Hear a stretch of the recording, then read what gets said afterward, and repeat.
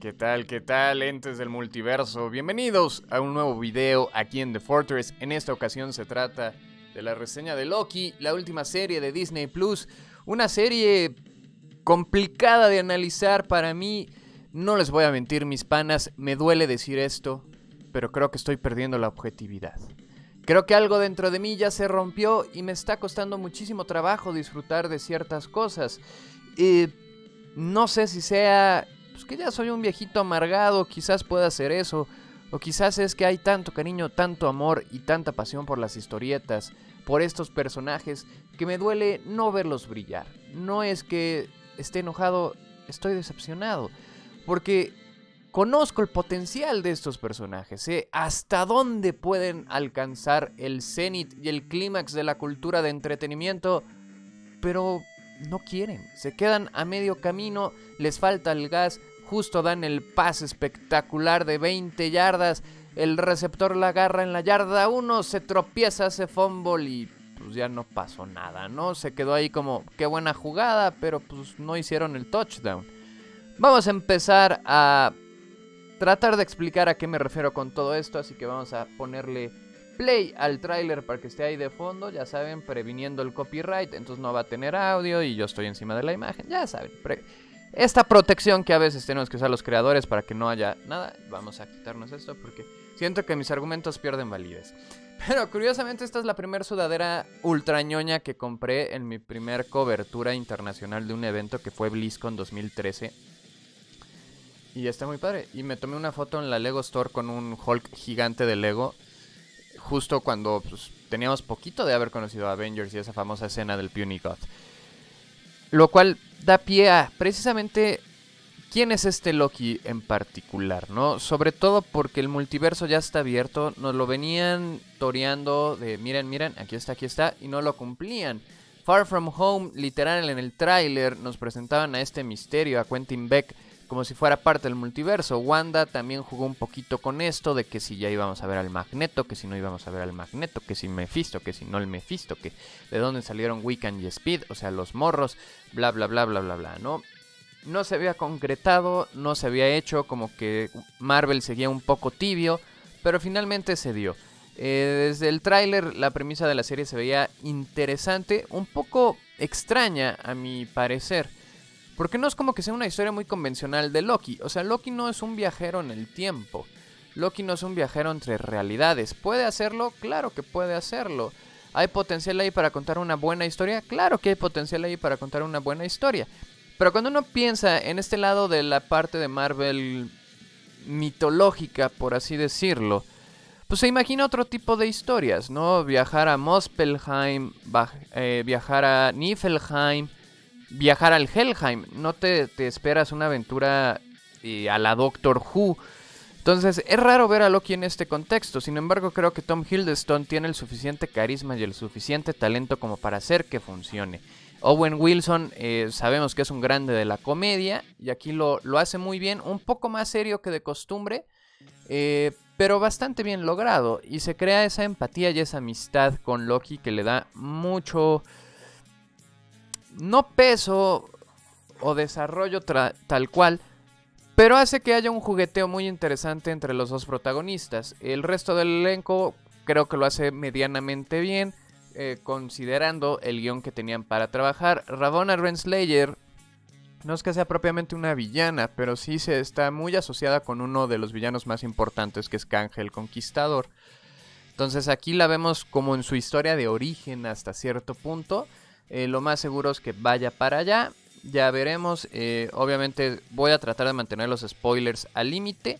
Entonces lo más conveniente es que vean esta reseña después de haber terminado la serie. Ya está completa, ya están los seis episodios en la plataforma. Entonces nada más, pues échense un mesecito de Disney Plus. Si no lo han contratado hasta la fecha, pues ahorita ya podrían aventarse WandaVision, Falcon and the Winter Soldier y Loki de jalón. Hay cosas buenas, está Avengers Earth Mightiest Heroes, que tiene uno de mis Lokis favoritos. Vean esa caricatura de los Vengadores, vale muchísimo la pena. Y vean ese Loki, es el villano de la primera temporada y es una pasada. Es glorioso ese señor Loki. A diferencia del de aquí, que no es que necesariamente sea malo, pero mi problema con Loki desde técnicamente Avengers. Todavía Thor 1 lo puedo entender.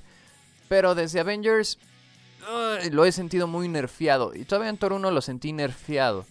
Es un personaje con demasiados poderes porque no solo es que sea esta cuestión de deidad, de, ah, es que está basado en el mito, porque también, a ver, algo que tenemos que aclarar y que dejemos muy bien asentado desde ahorita, este no es el Loki del mito.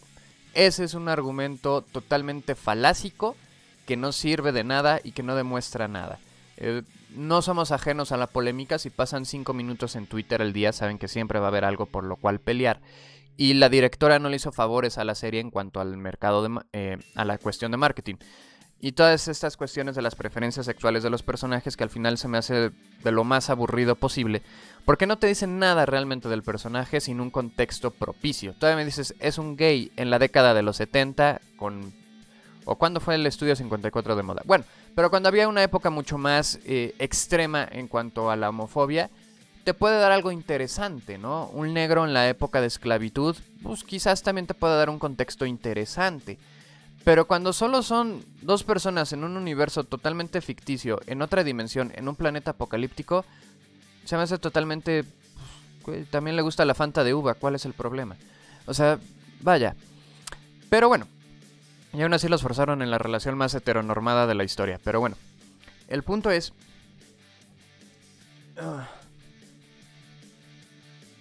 Que cuando no tienes exactamente cómo desarrollar a tu personaje, te tienes que basar en cuestiones muy superficiales. Y este Loki sigue tremendamente nerfeado. Pero mi punto del mito, ya lo que quería llegar es... Stan Lee y Joe Simon y Jack Kirby, eh, Steve Ditko, todos estos grandes creadores que fundaron Marvel, hicieron Marvel lo que es ahorita, sobre todo Jack Kirby, ¿no? El creador de los Cuatro Fantásticos. Eh, se basaron ligeramente en, el Loki mitológico, pero no es el Loki mitológico. Vaya, de entrada Asgard no es otro planeta, eh, Sif es la esposa de Thor, Lofi es mujer y es la madre de, de Loki, su padre es este Farbauti, eh, Loki está casado con Angreboda. Fenrir es su hijo. Jormungander es su hijo. Hela es su hija. Eh, Hela tiene la mitad de la cara es, esquelética. Y demás cuestiones, ¿no? Eh, Thor es pelirrojo, no rubio. Falta Tyr, falta Balder, falta muchísimas cosas en este mundo porque no es el Thor del mito, no es el Asgard del mito, no es el Odín del mito y por supuesto, que no es Loki del mito, es el Loki de Marvel. Y ni siquiera es el Loki del Marvel 616, es el Loki del MCU. Y ya ni siquiera es el Loki del MCU, es el Loki de Disney Plus. Que suena como absurdo, pero es que sí hay diferencias muy marcadas entre continuidades retroactivas, entre cambios, entre esto, entre aquellos. Y ahora que metieron las variantes, pues peor tantito, ¿no? Tenemos 50.000 Lokis, eh, cada uno con sus detallitos. Eh, por ahí el Loki clásico hizo mucho ruido en redes. Me era una de mis expectativas más grandes respecto a la serie de, ok, si vas a meter variantes, pues dame un guiño, ¿no? Déjame ver por lo menos a Loki de verdad 5 segundos. Medio lo hicieron, lo cumplieron a medias, pusieron a Richard D. Grant en el traje más ridículo del MCU. Eh, y la diferencia con WandaVision es que por lo menos ahí lo hicieron como gag para los disfraces de Halloween. Y en realidad no era su traje de Scarlet Witch, era su traje de eh, adivinadora de Sokovia. Dices, ok, va, como guiño está chido. Al final le dieron un traje más parecido a la bruja escarlata, modernizado y ajustado al estándar de un live action. Que para mi parecer quedó bastante bien. El traje final de WandaVision me gusta mucho. Aquí literal lo pusieron en una pijama de expandex verde con los guantes de cocina y un pañal gigante que aparte no tiene sentido porque ni siquiera era el Loki clásico, era eh, Tom Hiddleston viejo, porque tiene la misma historia hasta Endgame, digo hasta Infinity War, donde en lugar de morir asesinado por Thanos, fingió su muerte. El Loki que Thanos mató en esa línea temporal era una visión que creó Loki, entonces Loki va y se refugia en un planeta muy lejano, hasta que un día decide dejar ese planeta porque extraña a su hermano, y ya es cuando eh, la autoridad de los tiempos, de Time Variant Authority, autoridad de las variantes temporales, decide intervenir y se lo lleva a el vacío, al void, donde vive Alayot, que es una entidad cósmica que puede comer realidades, que fue domesticada por Khan el Conquistador. Eh, entonces, vamos a no enredarnos tantos, dejemos dos cosas claras. Cuando hablamos de este Loki, no hablamos de Loki del mito. Cualquier cosa que haya pasado en la mitología nórdica no tiene absolutamente nada que ver. Pueden adaptar cosillas aquí y allá, claro que pueden adaptar cosillas aquí y allá, que mucho está inspirado, claro que mucho está inspirado, pero no son el mismo. Lo que pasa en la mitología nórdica no tiene ninguna injerencia ni ningún peso con lo que pasa con el Asgard de Marvel. Así de sencillo, así de simple. Y también ahí ya tendríamos una discusión filosófica, eh, sobre todo en la diferencia entre una cosa es el cuerpo que tengas, tu identidad de género, y otra cosa es tu preferencia. Porque aunque Loki se pueda transformar en una piedra, eso no debería de cambiar sus preferencias. Pero bueno, esos ya son eh, temas un poco más escabrosos y no tienen nada que ver con el guion ni con eh, el desarrollo de la serie. es una serie que trata de nada, al final de cuentas, porque no vemos a Loki siendo Loki, no vemos a... sobre todo porque eligieron un Loki en un punto muy particular del tiempo eh, dentro de su vida de Marvel, que es terminando la batalla de Nueva York. Es el Loki más cruel, más villano, que trae el ego destrozado porque lo acaba de frenar los Vengadores. Y aún así tiene cambios emocionales no justificados dentro de la trama. Porque no es el Loki que vimos al final de Ragnarok, no es el Loki que vimos eh, dentro de Infinity War. Es un Loki que todavía era el, la fuerza a derrotar.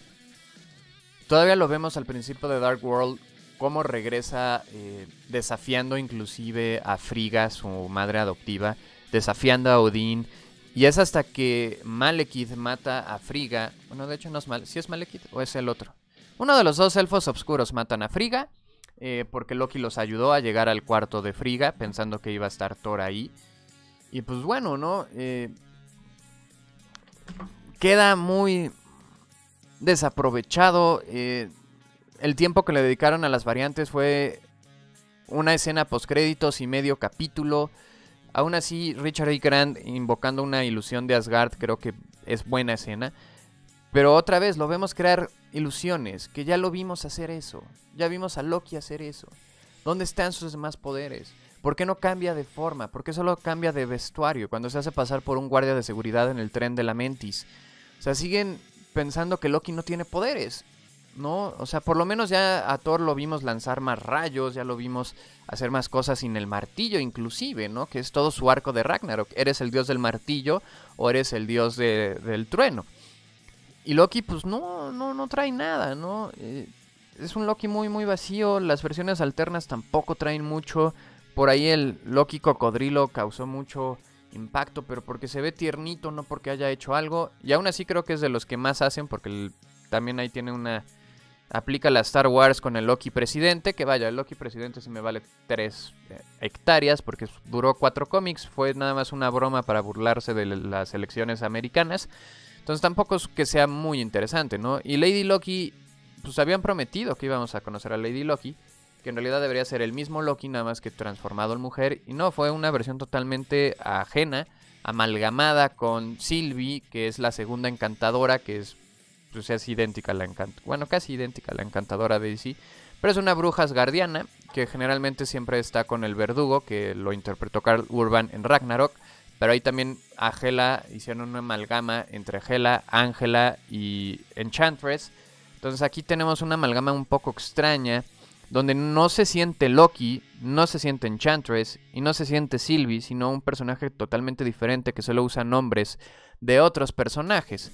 Eh, ¿Cómo obtuvo sus poderes? ¿Cómo entrenó y cómo fue tan fuerte cuando no vivió toda su vida en Asgard? No sabemos. Cosas del guion.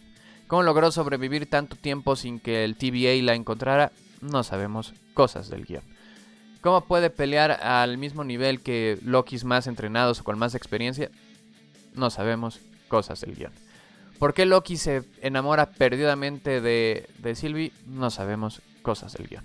De alguna manera metafórica podemos decir que no se enamoró de Sylvie, se enamoró de sí mismo, porque en teoría Sylvie es otra versión de Loki, lo cual enfatiza el narcisismo y cómo totalmente está solo, que es uno de los mensajes que Lady Sif le da, el triunfal regreso de Jamie Alexander, gran ausente en Ragnarok. Estuvo por ahí en Agents of Shield, pero bueno, tampoco es como que hayan hecho mucho con Sif. Eh, y menos ahora que pues ya va a estar eh, un nuevo Thor, ahora Jane Foster, que ese es el propósito de Love and Thunder, porque ya tenemos que pasar la estafeta, ¿no? Todos los Avengers originales ya están en su segunda generación. Ya en Black Widow vimos el paso de la antorcha a Yelena Velova. Ya en Hawkeye, la serie, vamos a ver cómo le da el paso a Kate Bishop. Thor le va a dar el paso a Jane Foster. Capitán América ya le dio el paso a Sam. Iron Man eh, pues ya, pues ya está muerto, entonces seguramente va a venir Ironheart, ya sea Morgan Stark en un cambio de la historieta o metan a Riri Williams, cualquiera de las dos puede funcionar. Eh, por ahí Hulk faltaría, pues ya viene la serie de She-Hulk, entonces puede ser que Jennifer Walter, su prima, se quede como el músculo del equipo, o traigan a Amadeus Cho, que ya vimos a su madre, Helen Cho, en Age of Ultron. Entonces ya están todas las bases sentadas. Por ahí también los jóvenes Avengers con Wiccan y Speed. Kid Loki también podría estar por ahí. Kamala Khan, que es Miss Marvel, también podría estar ahí. Stature, la hija de Alman, también ya la vimos crecida en Endgame. Entonces ya hay como demasiadas piezas para la segunda generación de Vengadores y por supuesto los Young Avengers. Eh, no descartamos que llegue por ahí Miles Morales, pero siento que este Peter Parker todavía es demasiado joven como para que ya exista un segundo Miles Morales, un segundo Spider-Man, perdón.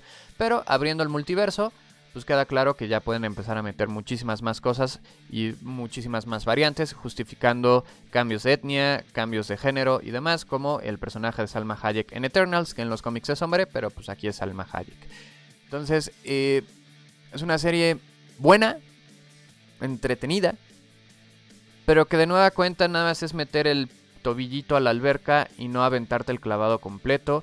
Eh, las versiones de Loki que presentaron no fueron desarrolladas, no tienen un arco, no lucen, fuera de eh, Loki clásico, que no es Loki clásico, es Tom Hiddleston del futuro, y no tendría sentido por qué se cambió su vestuario a ese vestuario tan ridículo.